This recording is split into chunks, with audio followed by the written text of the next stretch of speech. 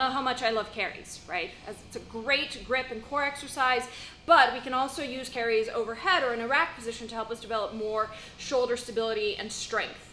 Um, I have two separate weights that I'm going to use today for a half rack, half overhead carry. So before we get started, check in with this rack position. That wrist is straight. We're not allowing the wrist to flex backwards. This is a no-no. Your elbow is in close to your body, your thumb is resting on your chest, and that bell is gonna sit right between your bicep and your forearm. It's not out here, right? We wanna work on packing the shoulder blade down and keeping everything nice and close to your body.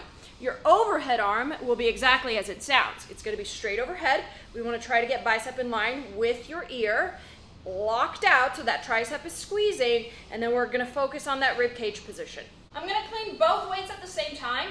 This might feel a little Chances are they're different weights.